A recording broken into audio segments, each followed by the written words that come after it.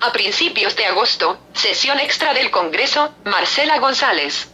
Será en los primeros días de agosto, cuando la Cámara de Diputados celebre una sesión extraordinaria para someter a decisión del Pleno los dictámenes sobre el nuevo sistema de justicia penal en Tabasco, anunció la presidenta de la Junta de Coordinación Política del Congreso del Estado, Marcela de Jesús González García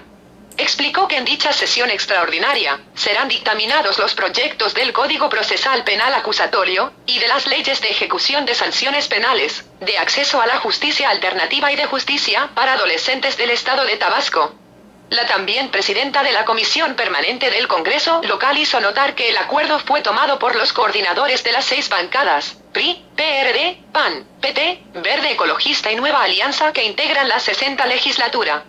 Por otra parte, la comisión permanente eligió al diputado Javier Calderón Mena como vocal de la misma, en sustitución de su homóloga Irma Castañeda Urbano, que fungía como suplente del legislador Alberto de la Cruz Pozo, quien solicitó su reingreso a la 60 legislatura, desde el pasado 6 de julio. González García, entrevistada por los diversos medios de comunicación al término de la sesión de la comisión permanente, también resaltó que las seis fracciones parlamentarias acordaron abordar el tema del nombramiento del nuevo presidente consejero del Instituto Electoral y de Participación Ciudadana, hasta que haya concluido totalmente el proceso comicial local.